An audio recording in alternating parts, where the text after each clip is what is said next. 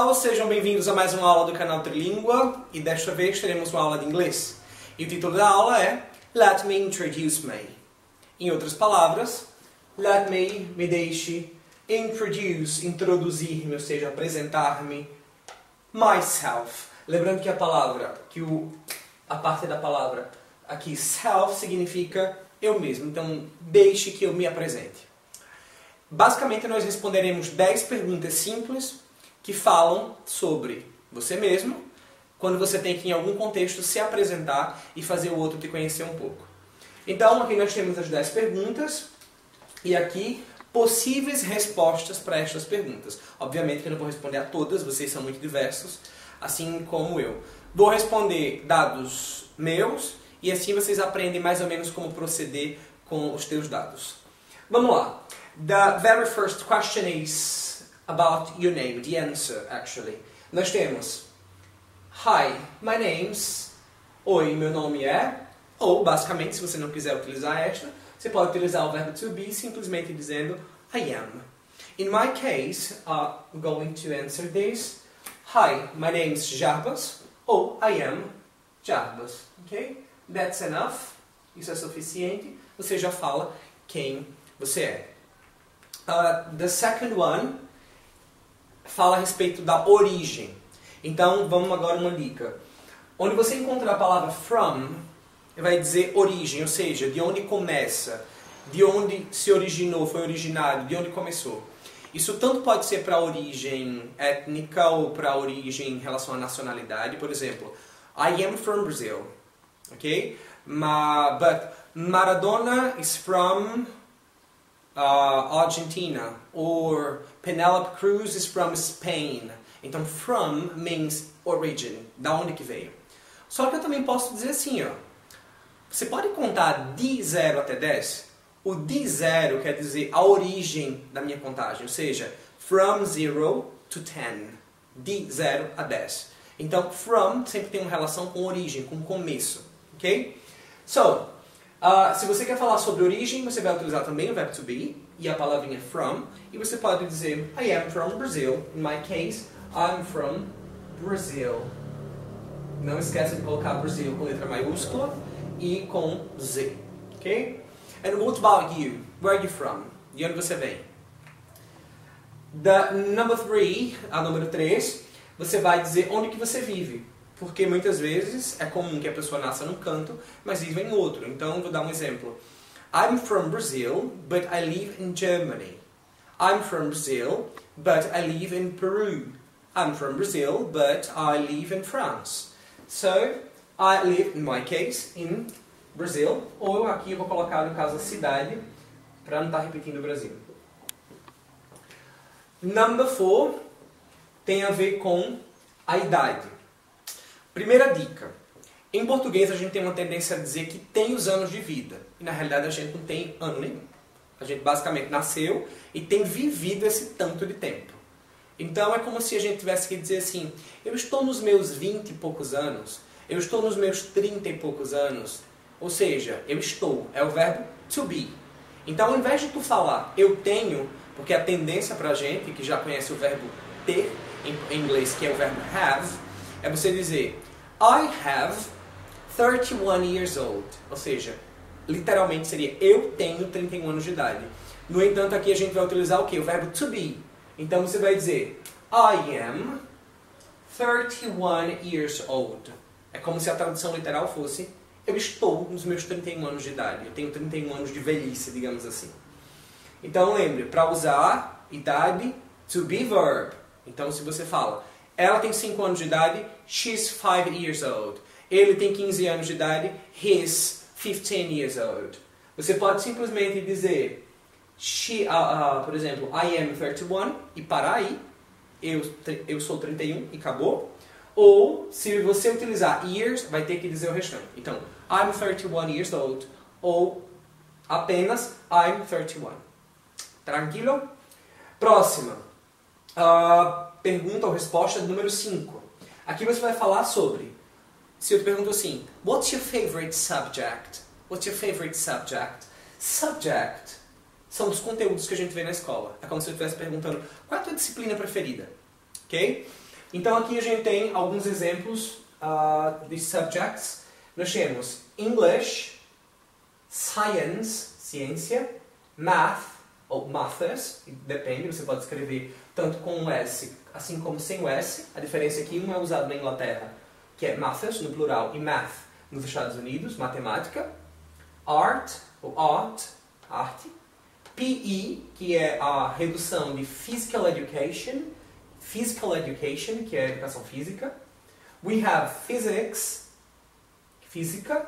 Chemistry, química. Music, que ainda não faz parte da nossa realidade geral, mas oxalá que seja. Música. Social Studies, estudos sociais, uma disciplina mais antiga, mas hoje seria como Sociology, Philosophy, alguma coisa do tipo. History, História, and Geography. Ok, respondendo aqui, uh, what's my favorite subject? Oh my gosh, let me see. Probably science. I love science. Okay? I love science. I'm a biologist. Um, answer number six. We have my father is a and my mother Então aqui a gente vai abordar jobs, ok? Profissões, empregos.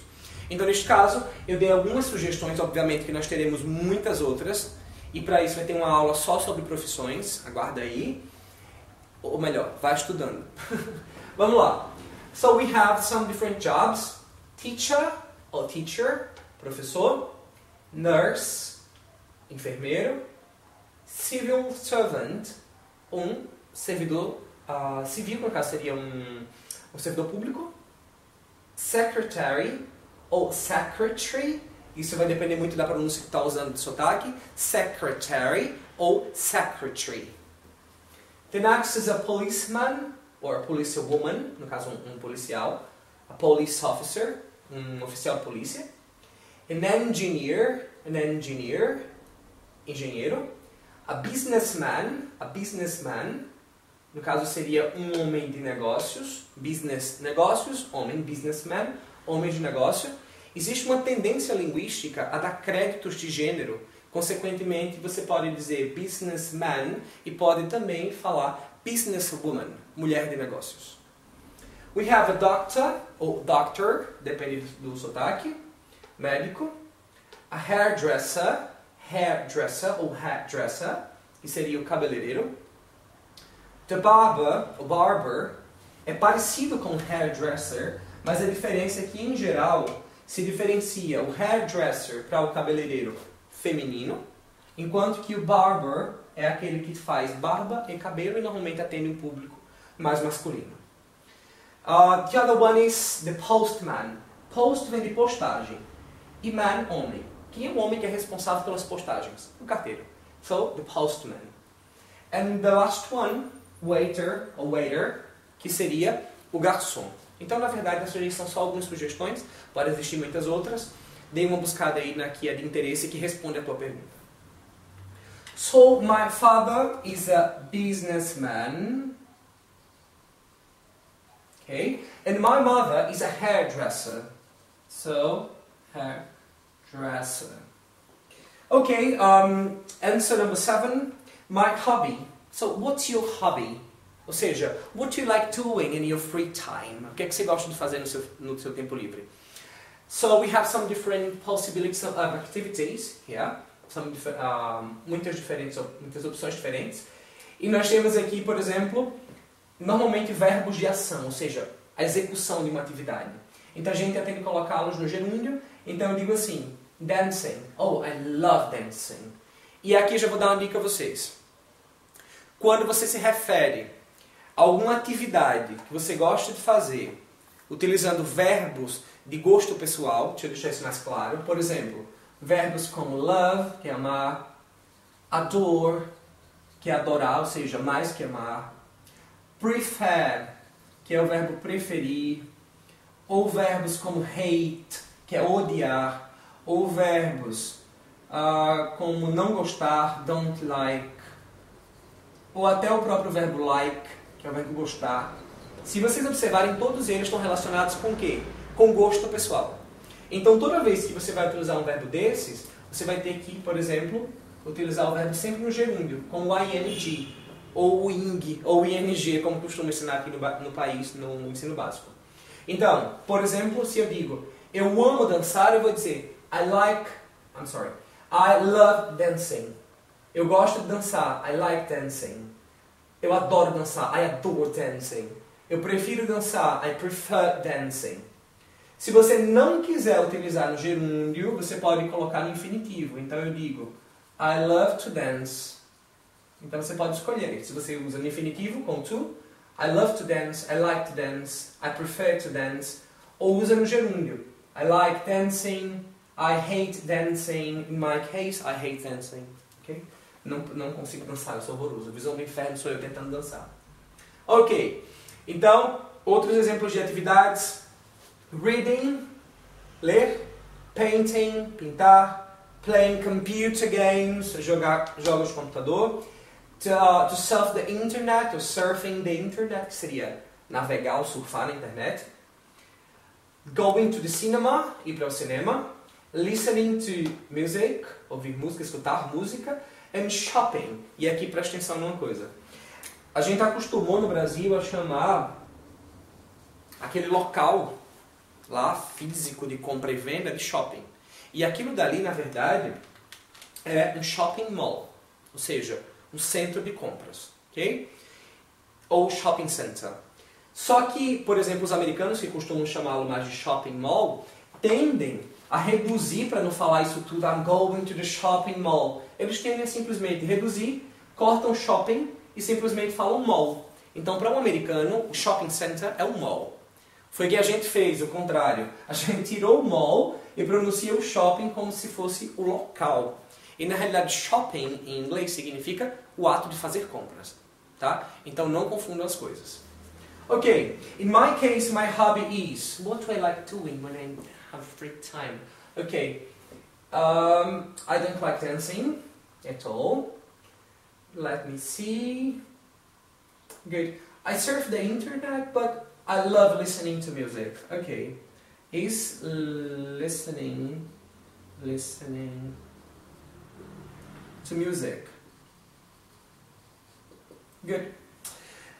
Question number eight. What's your favorite food? Okay, I love food. I love cooking. And what's my favorite food? I don't know, lasagna, pizza. Oh, I know. Yes, that's it. It's bread and milk. Bread and milk. Ok? Nesse caso aí, para quem não sabe o que significa ainda, bread pão, and e, milk, leite. Então, my favorite food is bread and milk. Eu amo pão com leite. Um, question number eight, the answer. What's your favorite drink? Okay, let me see. Probably water.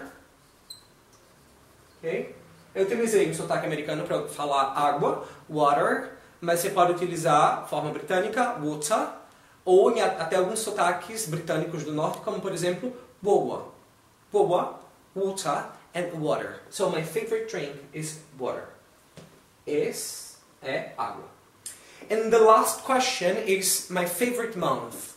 The month, os meses do ano. What's my favorite one? What's my favorite? A gente tem aqui os meses do ano. Lembrando que alguns deles, por conta do sotaque, podem ser pronunciados de maneiras distintas. Então eu vou pronunciar as duas formas e tu escolhe qual maneira que tu quer falar.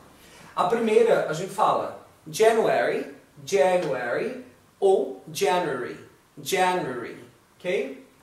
Da segunda, February, February ou February, February. Próximo, March, March, com R mais forte, ou March, March. Esse aqui, April. Preste atenção nesse aqui que a gente tende a falar uma coisa meio estranha, mas a pronúncia correta é April, April. Próximo, May, May, maio. Próximo, June, June, junho. Next, July, July. Bonitinho de falar, não? July, julho. Next is August. Pay attention here. August, ok? Agosto, August. E aqui a gente tem os últimos quatro meses do ano que tem uma terminação que, calma aí, que você vai escolher qual é que tu prefere. Para muitos brasileiros soa meio estranho como se pronuncia isso aqui no sotaque britânico. Porque o R, se vocês lembrarem de outras aulas, é pronunciado de maneira mais sutil, não é aquele R forte do americano. Então, o americano vai pronunciar isso aqui basicamente como September, September, October, October, é a gente lembra do Oktoberfest, November, November e December, December, sempre com esse R muito forte. Olha como é que o britânico vai falar. September, September, October, October, November, November, and finally December, December.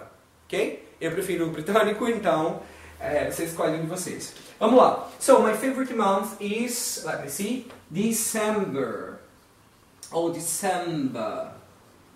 Por quê? Ok. Because I'm on holiday porque eu estou de férias. Amo meus alunos, mas eu adoro, adoro férias. Então, vamos lá fazer um repasso. Eu vou transformar tudo isso aqui numa conversação e a gente vai responder. Hello, my name is Jarbas. I'm from Brazil. I live in Viçosa, Brazil. I'm 31 years old. My favorite subject is science. My father is a businessman and my mother is a hairdresser. My hobby is listening to music. My favorite food is bread and milk. My favorite drink is water. And my favorite month is December. And what about you? Can you answer all of those questions? E aí, sobre você? Você consegue responder isso aí?